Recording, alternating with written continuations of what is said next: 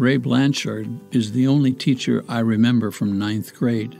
That was almost 60 years ago, and yet I still can see him, short and squat, with a shock of straight blond hair, wearing his usual rumpled gray suit. I remember him clearly because he spent countless hours trying to teach me algebra, a subject that eludes me to this day. In countless exercises, repeated explanations, and long sessions after school, he sat on the corner of his desk smoking his British consols while barking out instructions as I worked at the blackboard. I passed the final exam that year by one point, probably a mercy grade he gave me to move me out of ninth grade. But Mr. Blanchard failed at the thing he wanted so badly for me to do learn algebra.